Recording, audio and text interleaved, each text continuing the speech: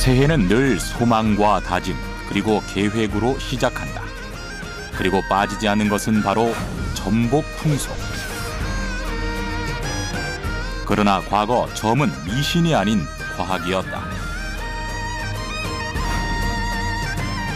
누구나 태어남과 동시에 주어지는 생년월일 그리고 시간 그 네 가지로 결정되는 운명. 그리고 얼굴 속에 담긴 미래. 사주, 관상, 주역, 토정 비결까지 미래를 알고자 했던 선주들의 전복 풍속으로 새해를 예측해 본다.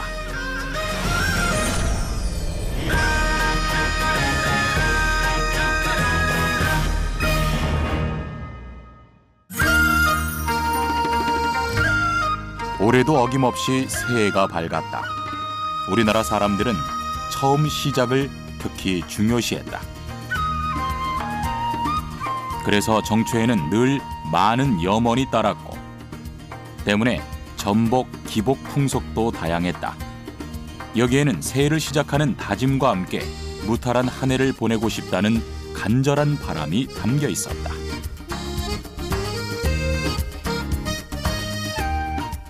자연 앞에 왜소한 존재라는 걸 알게 되고 뭐 그런 가운데 아마 그 초인간적인 의지와 능력을 가진 어떤 존재가 있을 것이고 그 초인간적인 존재가 어떤 인간의 기lum의 화복을 주관할 것이다 그렇게 믿었던 거죠. 근데 그 초인간적 존재와 사람이 통할 수 있는 길이 바로 점이다 생각했을 겁니다 아마. 주술이란 인간이 초자연적인 힘을 통해 원하는 목적을 달성하고자 하는 의지를 표현하는 행위이다. 질병을 예방하거나 재앙을 쫓고 복을 불러준다는 행위들이 여기에 속한다. 전복이란 예측할 수 없는 미래의 일을 주술의 힘을 빌려 추리하는 행위를 말한다. 점을 치거나 사람의 외모를 통해 인생을 판단하는 행위가 여기에 포함된다. 인간만이 점을 칠 수 있고요. 어, 그 점이라고 하는 것은 어, 미래의 길흉을 딱 정해져 있는 것으로 숙명론적으로 받아들이는 것이 아니라 내가 친 어떤 그 우연한 점의 결과를 가지고 나의 미래를 훨씬 더 어, 좋은 방향으로 어, 유도할 수 있는, 이끌 수 있는 능력을 가진 존재라는 뜻으로 저는 그렇게 생각을 합니다. 불확실한 것에 불안함을 느끼는 사람들. 그래서 알 수 없는 미래를 예측하고 싶은 이들의 심리가 전복 문화를 탄생시킨 것인지도 모른다. 또한 미래에 대한 궁금증은 사회를 반영하기 때문에 시대가 변하면서 알고자 하는 관심사 또한 다양한 변화를 겪는다. 특히 젊은이들 같은 경우 취직, 결혼, 뭐 연애, 불안정한 미래를 한번 알아보고자 하는 또 오, 내가 어떤 방향으로 나아갔을 때 에, 정말 내 꿈을 이룰 수 있는가 하는 그런 미래를 향한 어떤 열망이라고 봐야 되겠죠. 우리나라의 다양한 세시 풍속과 관련하여 이루어진 전복 문화.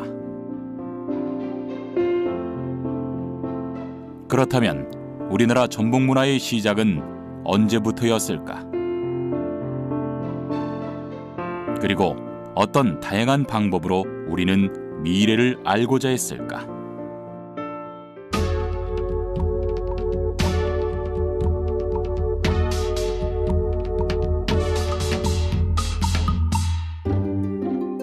신과의 직접적인 교류를 통해 인간의 더 나은 삶을 추구했던 과거. 제사장, 즉 무당을 중심으로 신에게 제사를 올리고 신의 뜻을 물었다. 고대 국가에서는 이 무당의 역할이 아주 중요했다. 무당을 통해 하늘의 제사를 지내고 국가의 안녕을 기원했다. 문헌을 통해 삼국시대에는 점수를 담당하는 부서까지 있었던 것을 알 수 있는데 고구려에서는 일자라고 하였고 백제와 신라에서는 일관이라 불렀다. 특히 백제는 일관부라는 관청까지 두었다. 천문을 담당한 관청이라고 되어 있지만 하늘을 읽음으로써 인간의 기륭까지 점치던 관원이었다. 삼국시대 때 무당은 왕의 고문이자 점술가였다. 그래서 나라의 관원으로서 일했고 왕명에 따라 제사를 주관하기도 했다.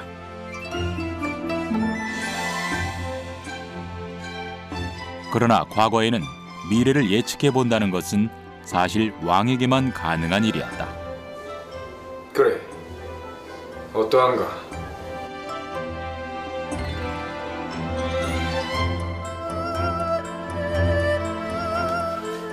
전하, 아래옵기 황공하오나 말씀하신 날은 좋은 꾀가 들지 않았사옵니다.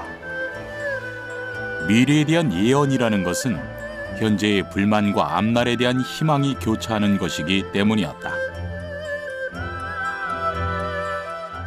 왕만 칩니다. 보통 사람은 점을 못 쳐요. 그거는 하늘의 신탁을 받는 거기 때문에 보통 사람들은 점을 쳐서도 안 되고 치면 이게 반역이에요. 근데 점이 세월이 지날수록 대중화가 되는 거죠. 조선 후기 유득공이 서울의 세시 풍속을 기록한 책 경도 잡지에서는 유점에 대한 내용을 찾아볼 수 있다.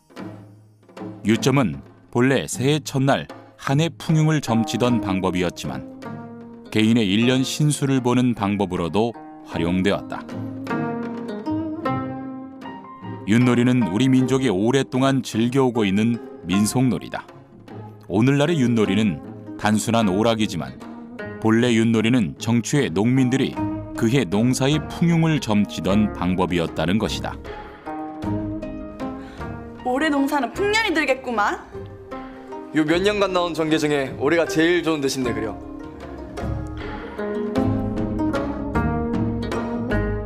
농점의 일환으로 해오던 윷놀이는 개인의 신수를 점치는 방법으로도 사용되다가 오랜 세월이 지나면서 놀이가 된 것으로 추정하고 있다.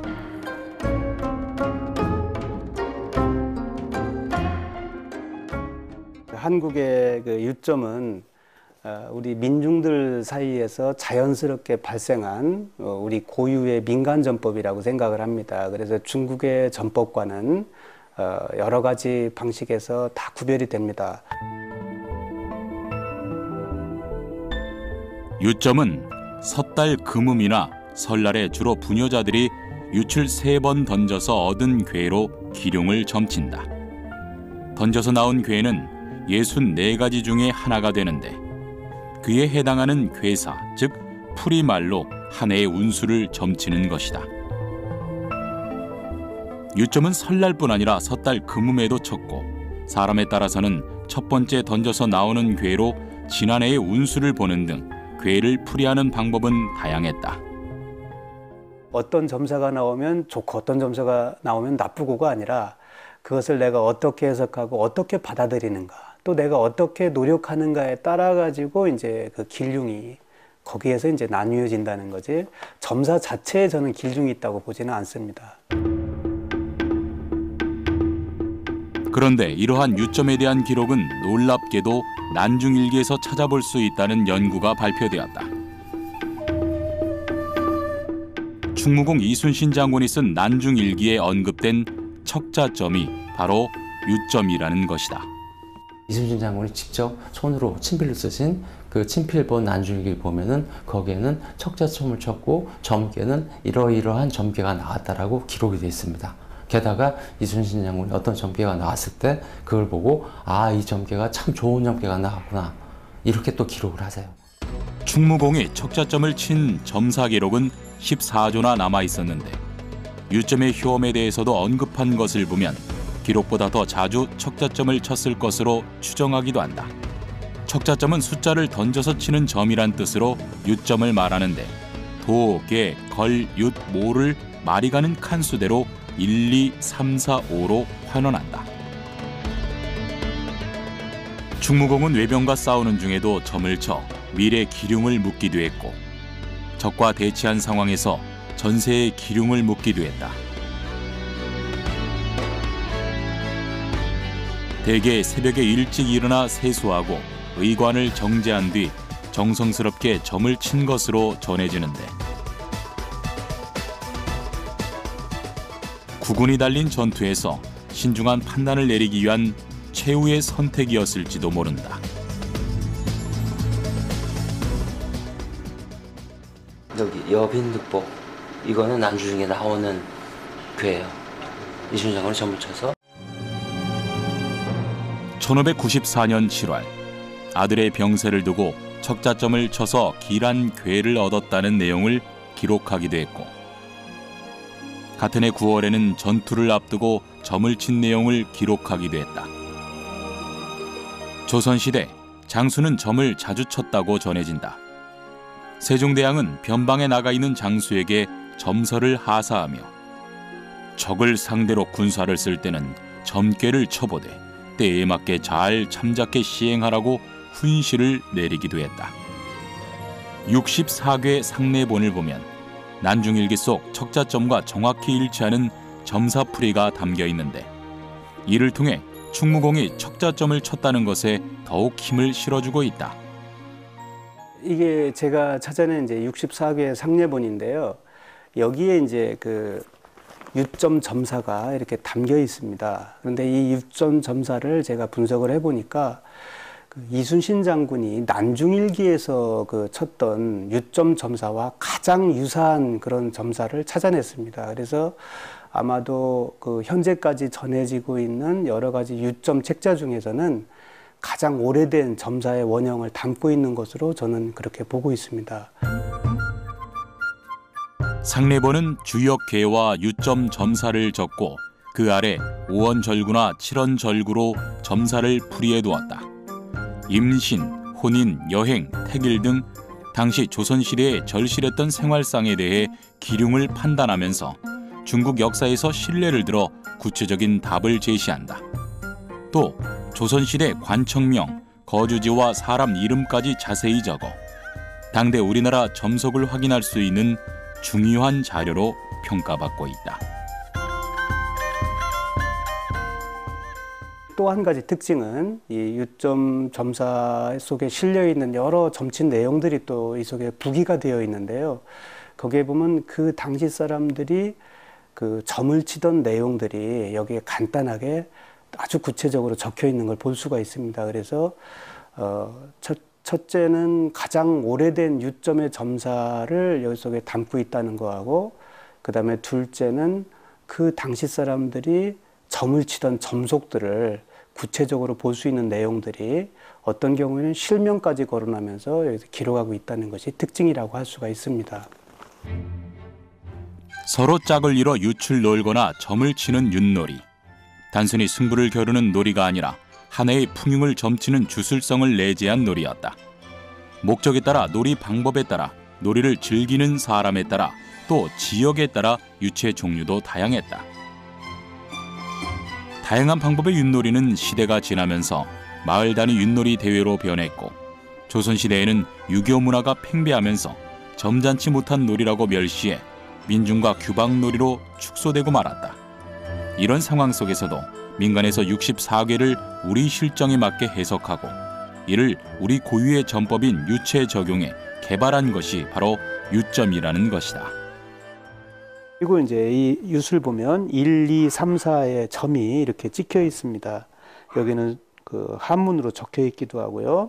이건 이제 선을 그어 가지고 선의 개수로서 어, 수를 구해서 이걸 가지고 유점을 치는 용도로 쓰던 그런 점입니다. 그래서 유점에는 조선 시대를 배경으로 한 우리 민중의 정서가 담겨 있다.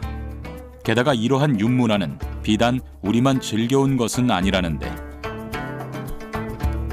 전혀 엉뚱한 지역, 북미와 남미 대륙에서도 우리 윷놀이와 비슷한 문화가 전해졌다. 그것은 곧 우리 윷문화가 세계 윷놀이 문화의 원형이 되는 것은 아닌지에 중점을 두고 연구가 진행되고 있다.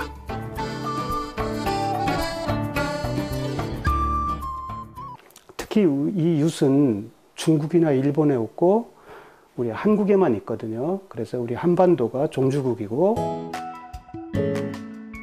민중의 애완과 정서가 담겨 있는 유점. 윷놀이파는 지난해의 노고를 나누고 다가올 한 해의 풍년과 마을 사람들 모두의 무사 안녕을 기원하는 축제의 장이 되었다. 결국 한 해의 운수를 기원하면서 동시에 공동체의 결속을 다지는 문화였던 것이다.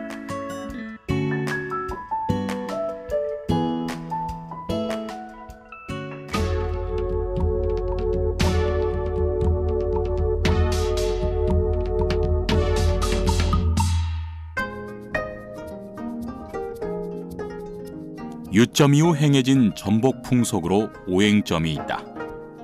음양 오행설의 이치를 풀어서 헤아린다고 하여 오행점이라고 하는데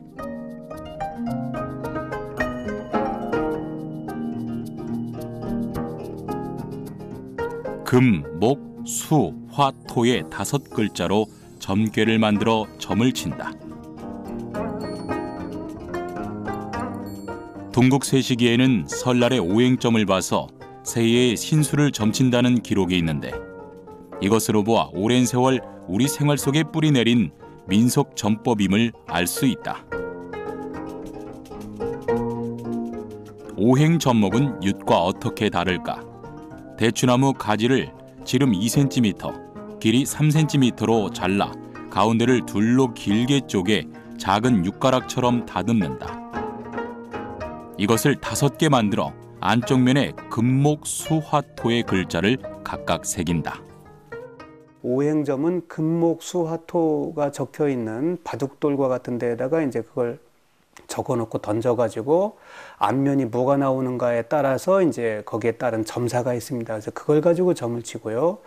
절초점이라고 하는 것은 풀잎을 이렇게 따가지고 몇 개가 손에 잡혔는가를 가지고 어, 그걸 또 이제 점사가 거기에 달려 있는 것이 있습니다. 그래서 그걸 가지고 이제 점을 쳤는데 이런 것들은 대개가 이제 우연점이라고 하는 겁니다.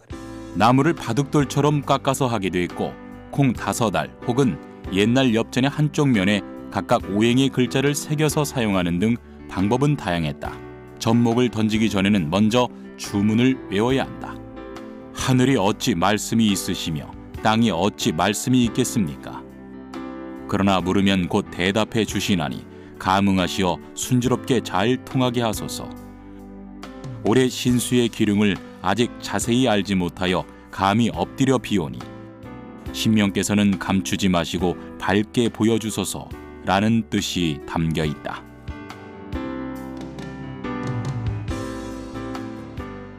점의 목적은 뭐냐면 피흉 축일이라고 그러거든요. 흉한 것을 피하고 좋은 것을 따라가는 것. 그걸 하기 위해서 점을 치는 것이지 그냥 나에게 어떤 횡재가 생겨날까? 혹은 나에게 출세를 뭐 가져다 출세가 그 생겨날까? 라는 그걸 예측하기보다는 내 스스로 그 경계하고 삼가하는 그런 목적으로 점이 존재하는 것이지 이 점에 의지해서 아 내일은 횡재할 거야. 내일은 나 갑자기 출세할 거야 라고 생각하는 거는 그건 인간의 오만이죠 조선시대에는 명과학이라 하여 운명, 기륭, 화복을 판단하는 학문을 인정하고 있었다.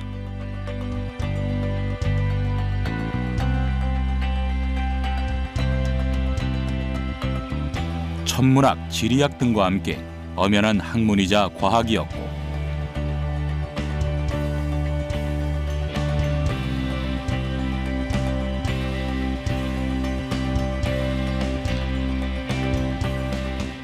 당시의 명과학 관리들은 사주 명리의 원론적인 것부터 공부하여 과거에 합격해야 했던 지금의 국가직 공무원과 다름없었다. 하나의 천문, 역법, 지리, 이 인사 할 때 그 사람에 관한 일은 이 명리를 통해서 어, 또 살펴보고 궁중의 혼인이라든지 특히 어떤 큰 일을 정할 때 행사를 치를 때 나를 택한다든지 택일이라고 하죠. 그런 때 등은 많이 활용을 했죠. 그것이 이제 그 당시에서의 최선의 방법이었다. 이렇게 볼 수 있겠죠. 음양학, 명과학은 유교 경전 중 하나인 주역과 떼려야 뗄 수 없는 학문이다. 주역은 어떻게 하면 조금이라도 흉운을 물리치고 기운을 잡을 수 있는지 천지 만물이 끊임없이 변화하는 자연 현상의 원리를 설명하고 풀이한 학문으로 볼 수 있는데 동양에서 가장 오래된 경전으로 알려져 있다. 원래는 이제 점치는 책이었습니다. 그게 민간인들 위주였다기보다는 이제 주나라 왕실에서 국가적 차원에서 했던 점서였는데 그게 이제 공자님께서 다시 거기에 대해서 해석을 가하고 또 설명을 하면서 철학서가 된 거죠. 거기서 이제 좀 파생되어 나갔던 게 아마 사주 명리학이라고 좀 봅니다. 그러니까 어찌 보면 사주 명리학의 기원과 같은 학문이죠. 우주와 자연의 이치가 음과 양으로 이루어진다고 하는 것이 음양론이고 목, 화, 토, 금수 다섯 가지를 통해 상생과 상극의 원리, 계절의 순환 법칙까지 이루어진다고 설명하는 것이 오행론이다. 음양과 오행은 만물의 생성, 변화, 소멸을 이루는 중요한 요소로 뗄 수 없는 관계에 있다 하여 음양오행설로 불리고 있다. 사주는 말 그대로 내 기둥이니까 생년, 생월, 생일, 생시를 나타내고 어, 또 팔자라고 우리가 보통 얘기하죠. 한 기둥에 에, 두 글자씩 네 기둥이니까 여덟 글자. 그래서 합해서 우리가 사주팔자 이렇게 얘기하는데 사주팔자는 한마디로 요약한다면 그 사람이 태어날 때 갖고 태어난 우주의 기운을 이야기할 수 있다. 그것을 음양오행으로 분석해 보는 것이 사주팔자다. 이렇게 볼 수 있습니다. 그 예로 조선시대 성군이었다고 손꼽히는 세종대왕의 사주를 분석해 보기로 했다.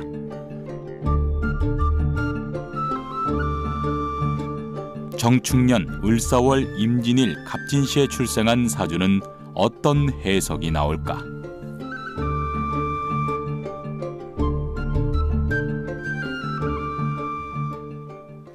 세종대왕님의 그 사주와 운을 한번 분석해 봤습니다. 많은 물을 필요로 하는 시기에 태어나서 그 물을 활용해서 곡식을 키우고 큰 숲을 기르고 과일나무를 키우고 화초를 키울 수 있는 그 모기 사주에 잘 자리 잡고 있어서 어, 본인이 하고자 하는 그러한 표현력, 활동력, 창의력, 생산력을 최대한 발휘할 수 있는 그런 사주의 구조로 되어 있습니다. 목, 화, 토, 금수 중에서 수에 해당하는 물의 특성은 인의 예지신 중에서 지에 해당된다.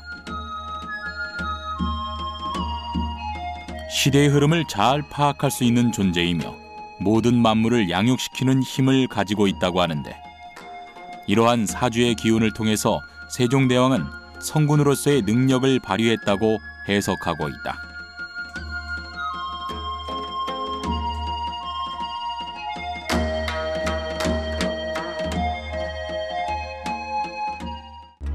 이러한 오행의 원리는 사람뿐 아니라 사물에도 반영된다.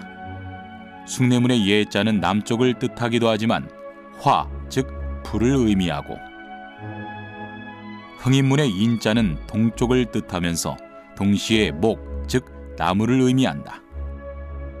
해례본 첫 문장은 다음과 같이 시작하고 있다. 하늘과 땅의 이치는 하나의 음양 오행뿐이다. 세종은 당대 우주 철학의 순환적 원리인 음양 오행을 담고자 했다. 한글의 자음 역시 다섯 가지가 만들어내는 것으로 어금니는 봄을, 혀는 여름을, 입술은 늦여름을, 이는 가을을, 목구멍은 겨울을 상징한다.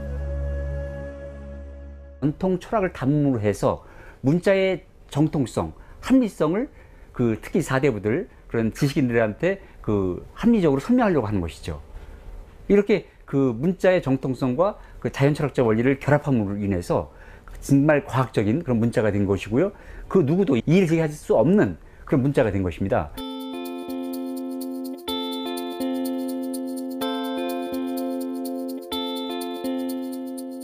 한국 건축미를 상징하는 단청은 청색, 적색, 황색, 백색, 흑색의 다섯 가지를 기본으로 하는데 이 역시 음양오행에 근거한 것이다.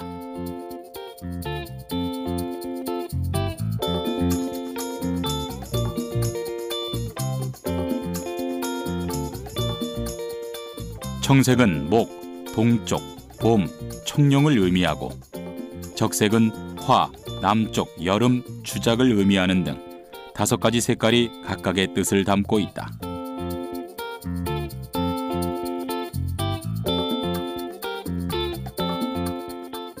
오행이라는 것이 이제 어, 색 자체가 어, 방위를 뜻하고 또 계절도 뜻하고 어, 또그 우주를 이- 이루는 다섯 가지 원소를 상징하는 어, 존재란 말이죠. 그러니까 이런 것들이 어, 이제 같이 어울리면서 어, 그 상생과 상극 이런 용어를 쓰지 않습니까? 오행 철학에서. 그러니까 그런 어, 철학이 기본이 돼서 그 색상 대비라든가 색상 조화라든가 이런 것도 다 이루어진 거거든요. 그뿐인가 전통놀이 중 하나인 사물놀이는 꽹과리, 장구, 북, 징해 네 가지 악기를 가지고 연주되는 음악과 놀이를 말하는데 여기에도 역시 음양오행의 이치가 들어있다고 한다. 우리 민족의 신명나는 그러한 아, 악기인 사물놀이도 전부 오행과 연관지어서 깽과리와 징과 북과 장구가 목화 금수를 상징한다면 그것을 다루는 사람이 다 아우르는 그 악기를 아우르는 그 토에 해당한다. 이래서 그 오행이 상생을 이루면서 우리의 신명을 일으키는 그런 아주 중요한 그러한 내용을 담고 있다. 이렇게 볼 수 있습니다. 역학의 목적은 성공을 예측하는 것이 아니다. 일기예보를 보고 태풍을 대비하듯 세상의 다양한 흐름을 알려주고 바른 선택을 스스로 찾아낼 수 있도록 길잡이가 되어주는 것에 있다. 양반들이 친 어, 기문둔갑이라든지 뭐 명리라든지 이런 것들은 이제 대개 음양 오행의 이론에 의거해 가지고 길흉을 따져보는 것이고 어, 평민들이 쳤던 방식은 어, 그런 음양 오행의 이론에 의거한 것이 아니라 우연적인 방법에 의거해 가지고 어, 상징적인 방식으로 점을 치는 것입니다. 그래서 그 점사의 해석이 다소 애매할 수도 있고 그렇지만 그것들을 잘 음미하면서 어, 삶의 어떤 활력소라든지 영감을 주는 그런 방식으로 활용했을 것이라고 저는 생각을 합니다. 한때 조선시대의 평민 지식인들은 성리학이 아닌 새로운 철학, 새로운 정치에 대한 갈증으로 사회의 변혁을 꿈꾸기도 했다.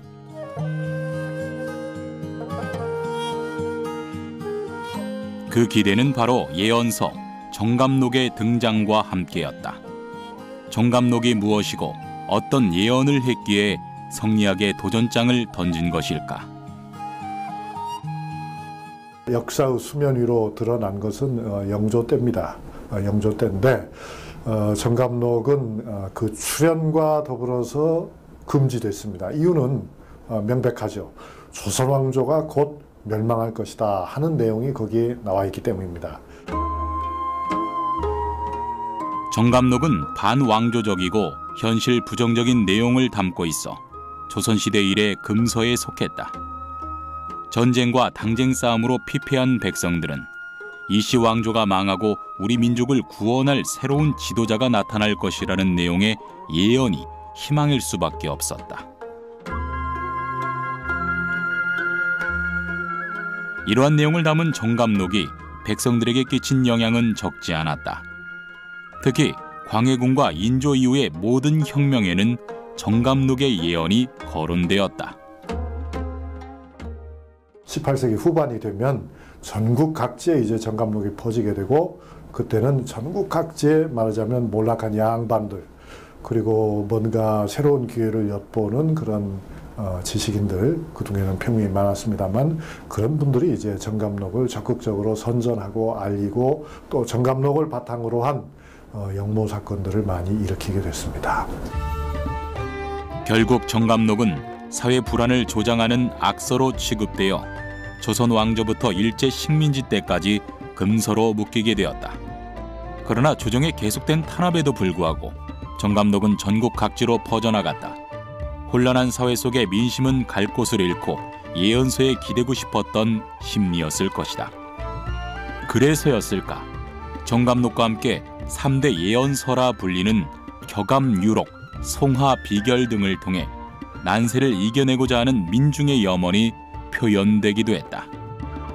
그러나 금지되고 탄압받은 예언서와 달리 새로운 방식의 점책이 등장한다. 그것이 바로 토정비결이었다. 조선 중기 이지함이 지은 것으로 전하는 예언서다. 지금은 한 해의 운수를 알아보는 대표적인 전복 풍속의 하나로 꼽히고 있다. 토정비결 같은 경우는 이 점치는 사람에게 찾아가지 않고 개인이 직접 스스로 해결할 수 있게 해준 그 점 대중화의 최고점이라고 봐야 되는 거죠.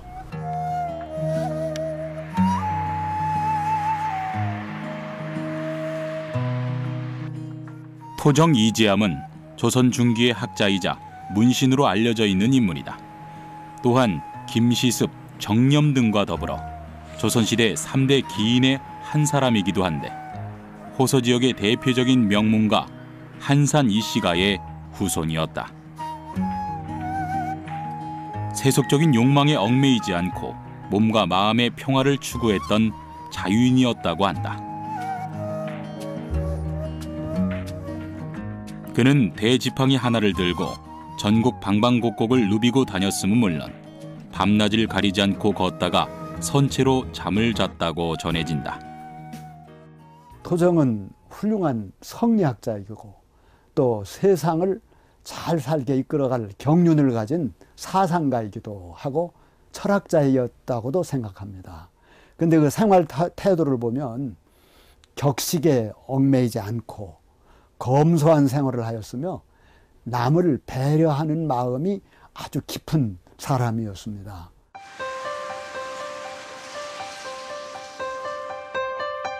민중들과 거리낌 없이 대화했고 당대의 여러 학문과 사상을 받아들였던 토정 이지함. 수리, 의학, 천문, 지리, 음양 등 다양한 분야의 학문에 통달했고 후학을 가르치기를 좋아했다. 그의 명성을 듣고 많은 사람들이 몰려올 정도였다. 충남 보령의 화암서원은 토정 이지함을 배양한 곳으로 지금까지도 서민들과 함께했던 그를 기억하며 제사를 지내고 있다. 그는 늘 어려운 사람들을 잊지 않았는데 현감으로 부임할 당시 관아에 그럴듯한 밥상이 나오자 상을 밀어내고 잡곡밥과 나물국만 가져오게 했다는 일화도 전해진다. 또한 정착할 곳 없는 거린들을 구제하는 거린청을 세우기도 했는데 노약자들은 집신을 삼게 하여 그것을 판 돈으로 쌀을 살 수 있게 하는 등 최초의 빈민 구제 기관이 되었다. 가난한 사람들을 돕는 한편 가난 극복의 의지를 가지고 어, 노력해서 가난을 벗어나게 하려는 뜻에서 세운 그 것으로 매우 현실적이고 필요한 기구였다고 생각합니다.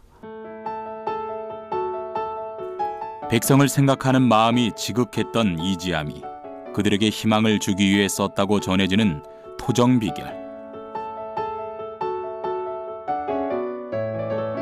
기인으로 알려지기도 했고 관상을 봐주거나 예언을 했다는 일화가 전해지면서 실제로 토정 비결을 쓰는 데까지 이어졌을 거라는 추측 때문이다.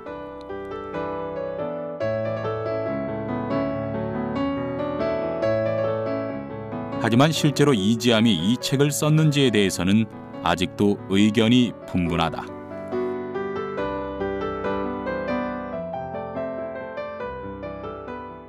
이지함 선생은 아시다시피 16세기 인물입니다. 그러니까 1500년대 인물.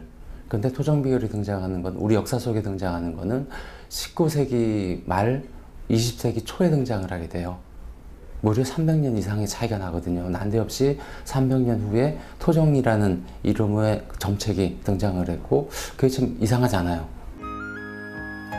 누군가 점책을 쓰고 토정 이지함의 이름을 빌려 제목을 붙였을 거라는 주장이 있다.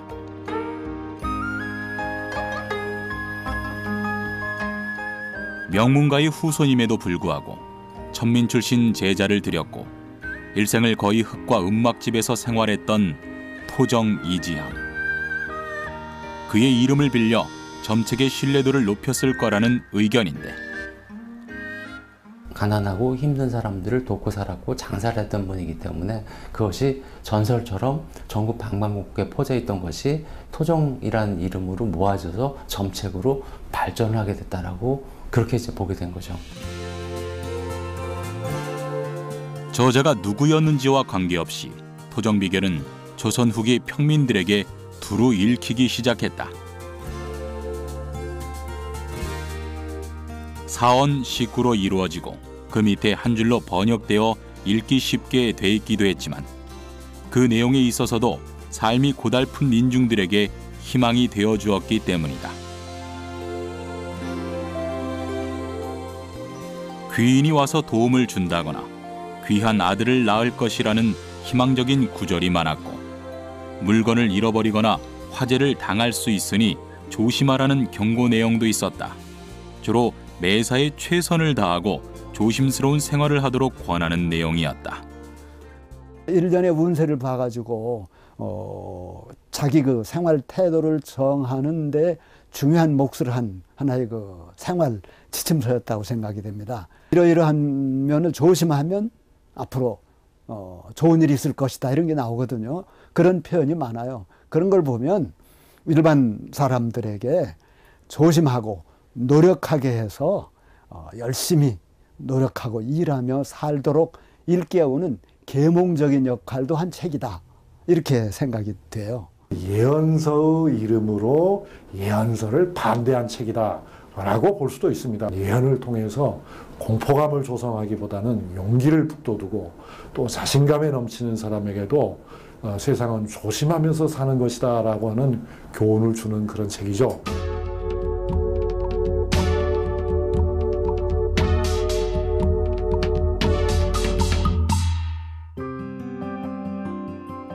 미래를 점치는 사람들은 사주나 점만으로는 운명을 단정 지을 수 없고 또 다른 타고나는 운을 함께 봐야 한다고 설명한다. 그것은 바로 관상이다.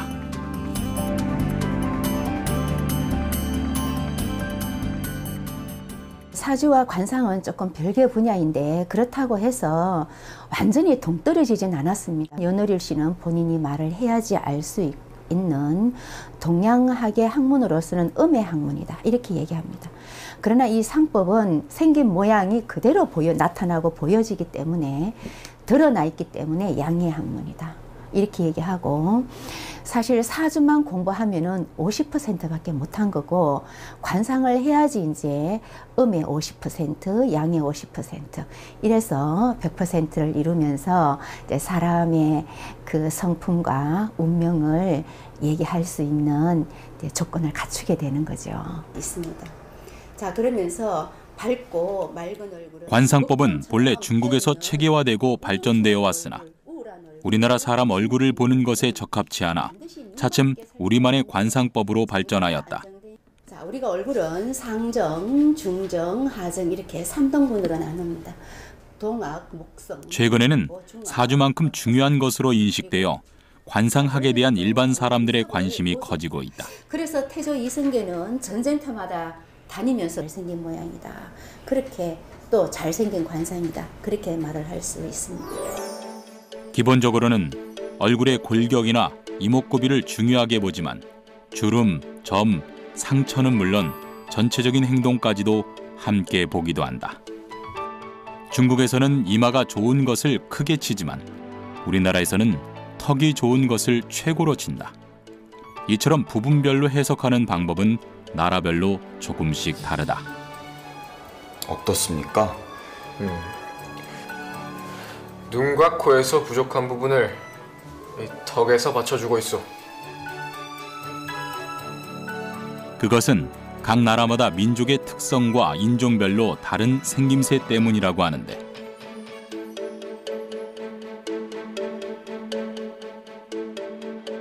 그렇다면 관상학적으로 좋은 관상, 나쁜 관상은 어떻게 구분될까? 조선 왕조를 개국한 태조 이성계의 표준 영정으로 관상을 분석해 보기로 했다. 이런 눈은 어, 하나의 그 권력을 잡는 눈으로 볼 수 있습니다. 그래서 우리가 보통 정치계에서 많이 발견되는 그런 눈빛이다. 그렇게 생각할 수 있습니다.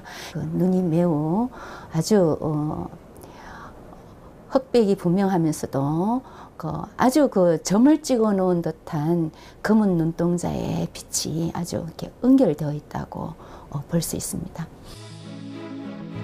귀는 길고 두툼하며 코는 눈과 기운을 주고받을 수 있는 모양.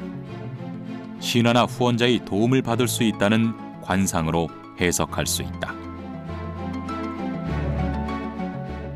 그에 비해 현재 1990년생 올해 나이 27세 직장인인 현대인 남성의 관상을 보면 눈동자가 흰자위보다 많아 선량하고 부드러운 코를 가져 부드러운 기운을 가진 사람으로 해석했다.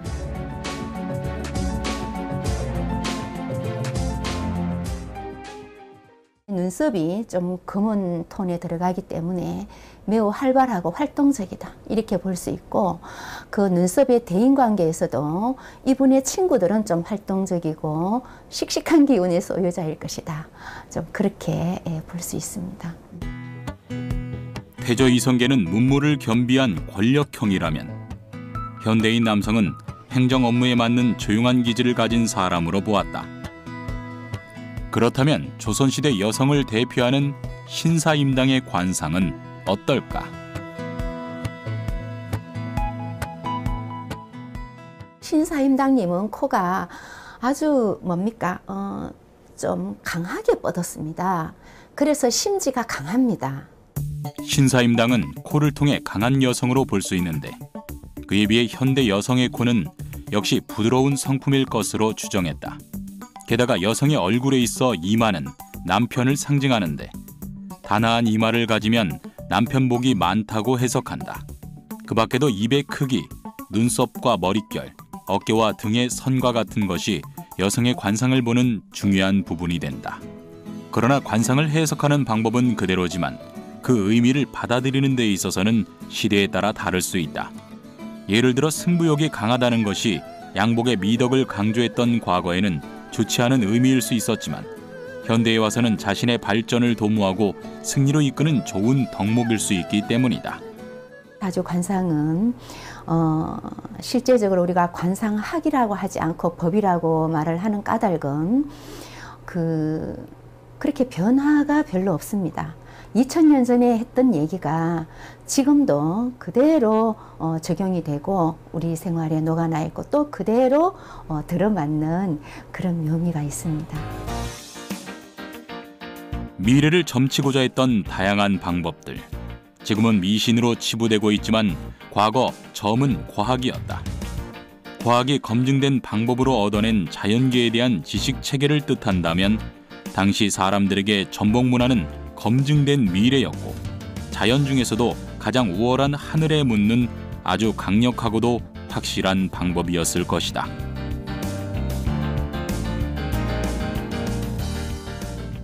오늘날 생각할 때 어, 어, 미래를 예측한다는 것이 그런 방식으로 예측할 수 있을까 이렇게 사람들이 생각을 하고 그것들은 미신일 것이라고 그렇게 보지만 어, 전통시대 사람들은 그것을 일종의 과학으로 생각을 했을 거라는 거죠. 그러니까 그 과학은 오늘날의 과학과는 좀 개념이 다릅니다.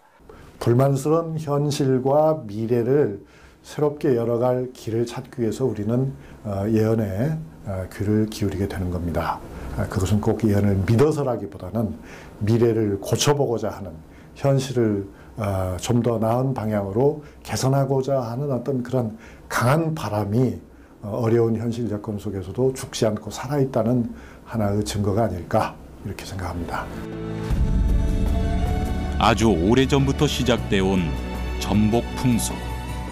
그 안에 담긴 괴사나 풀이말이 얼마나 정확한지는 우리에게 중요하지 않다. 미래의 기륭을 숙명으로 받아들이는 것이 아니라 점의 결과를 통해 나의 미래를 좋은 방향으로 이끌고자 했던 선조들의 삶의 방식을 기억해야 할 것이다.